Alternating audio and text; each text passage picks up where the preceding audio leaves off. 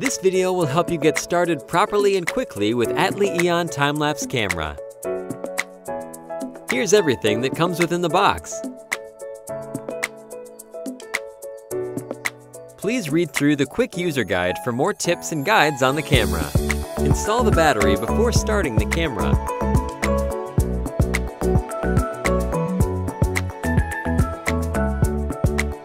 Depending on your cell phone OS, you can either install the app in the Google Play or the Apple App Store.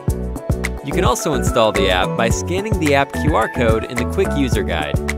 Press the power button for 4 to 5 seconds to start the camera. Wait approximately 30 seconds till the status LED turns green.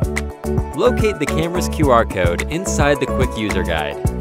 Open Atli Cam app and select Add Camera. Scan the camera's QR code inside the quick user guide. Press Join to log in to the camera's Wi-Fi network. The app is connected to the camera successfully once you see the center display shows the image captured by the camera.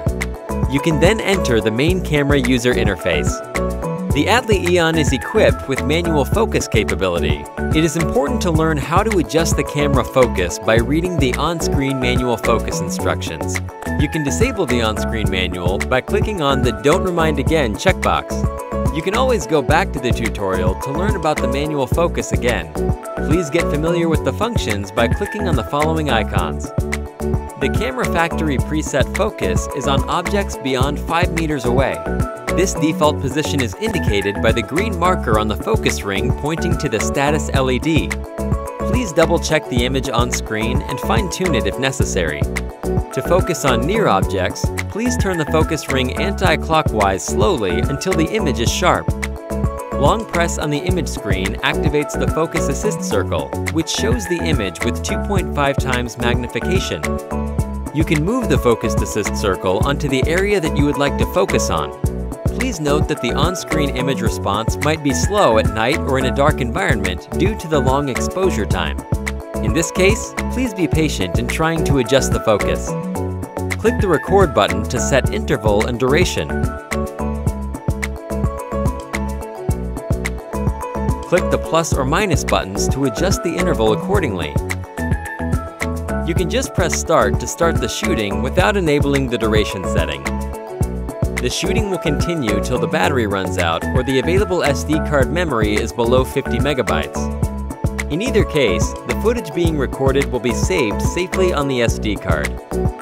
However, as a good practice, it is recommended to enable the duration setting. You can click on the duration to enable it and configure the duration accordingly. The estimated length of the time-lapse video is displayed for your reference. You can go back to change the interval and duration if desired.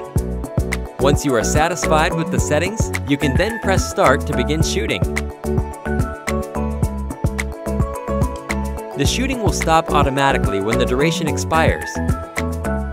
A camera with an ongoing shooting task will not stop recording when disconnected from the app, so that you can still use your phone without interfering the shoot. While a shooting is in progress, you can press Preview to view the video footage that has been recorded. This allows you to evaluate your footage in order to determine if any changes on the settings are needed. You can also download this preview footage to your phone album or share it immediately to social media. Please note that the red square on the record button indicates a shooting is in progress. You can always press the button to terminate the shooting.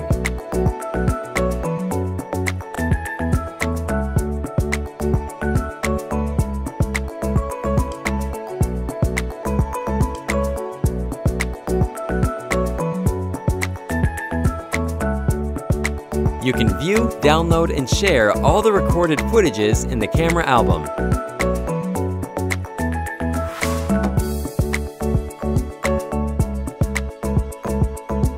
If you need any support with your Atli camera, feel free to contact us via live chat on our website and app.